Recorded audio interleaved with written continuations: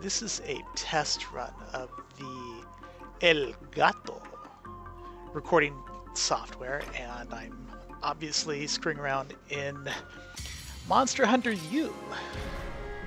Well, 3U. Um, and I'm noticing that there is some definite degradation in the image quality that I'm seeing on my monitor. Do some looking in to find out if the Elgato deliberately downscales stuff and then rescales it up or what, but this is definitely different looking.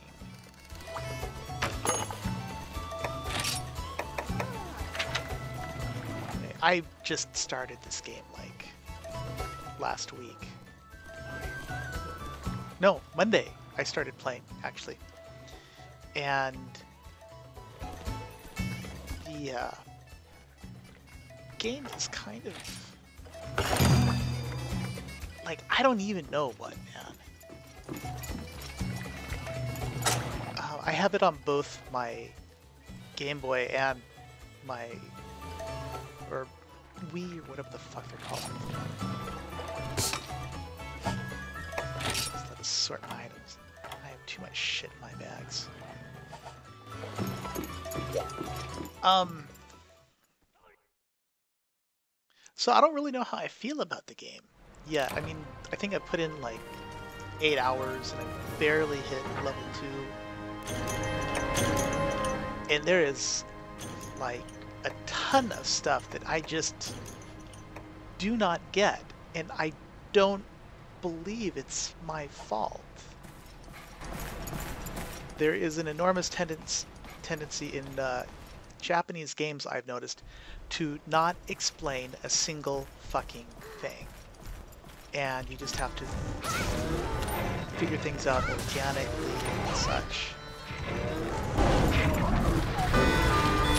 Dark Souls is an incredible example of that exact philosophy, where you are essentially left to the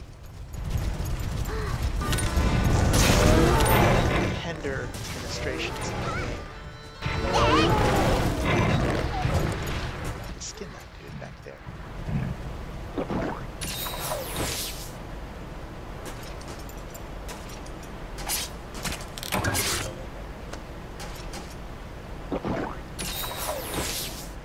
Oh, there we go. I have my triggers screwed up.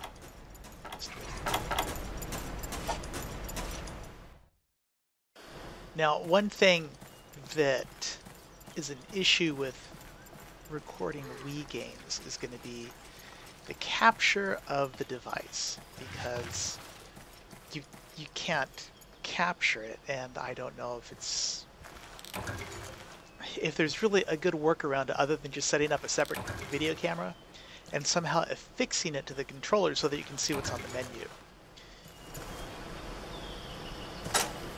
Wonder if there's actually a way to get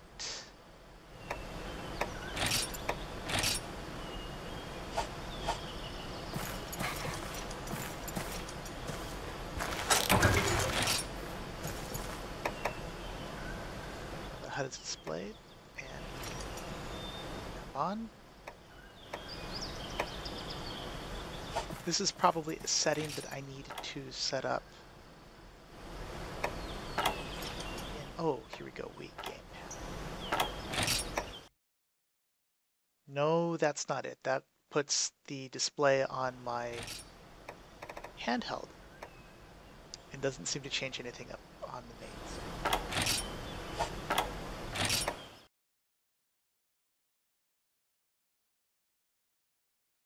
mains. no. Um, it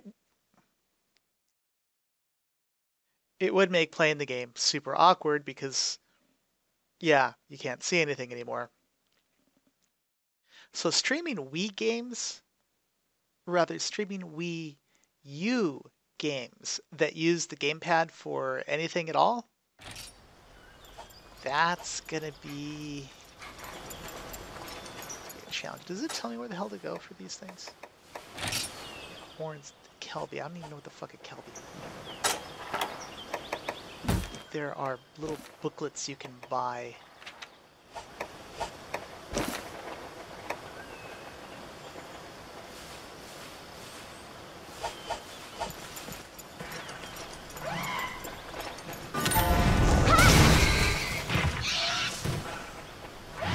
And this is like a horrible thing. Like, I don't even know why people do this.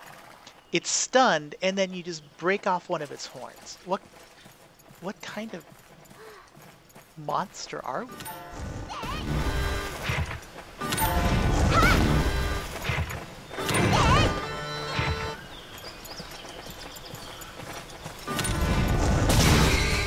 as you can see, I so don't know the combos yet. I'm sure that there are people that have been playing this for a super freaking long time, and they can like pull off all this kind of stuff, and they already have a good intuitive knowledge of where everything is and where everything goes. I am not one of those people. I'm not sure that I ever will be. I don't know how much I do or or or don't like this game.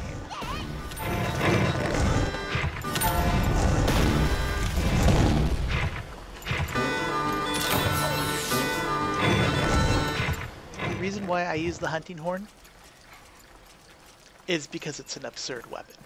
I tried the bow, and the bow took me the longest freaking time to figure out how to actually use.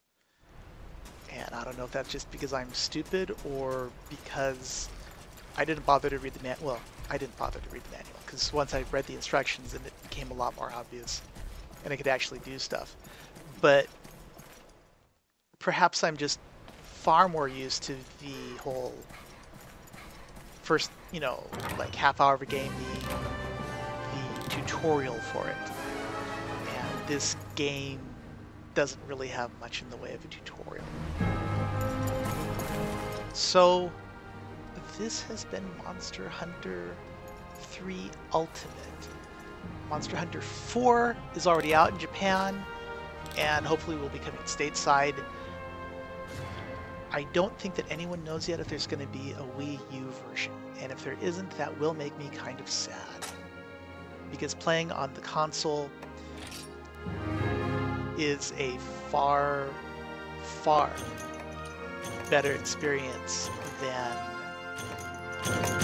playing on the 3DS. You, because, you know, I have big hands, I guess, and even though I have a 3DS XL, the you know holding it just doesn't feel comfortable, and it's doing anything underwater in that game, or in this game rather, is a nightmare.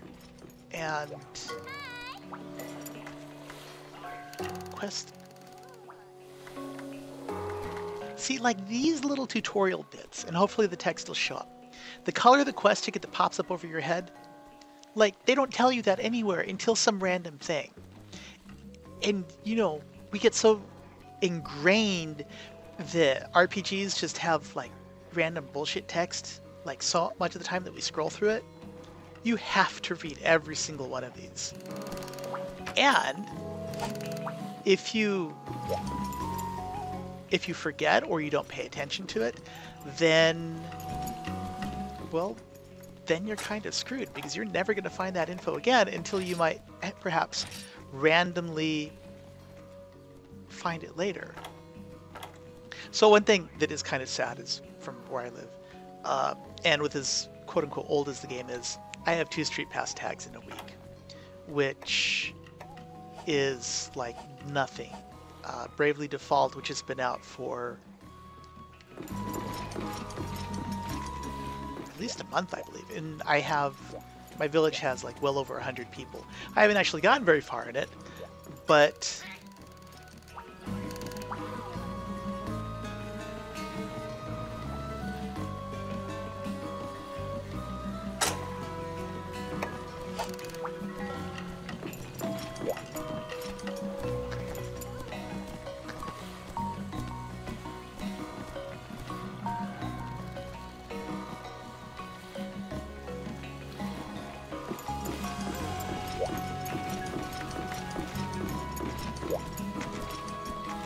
you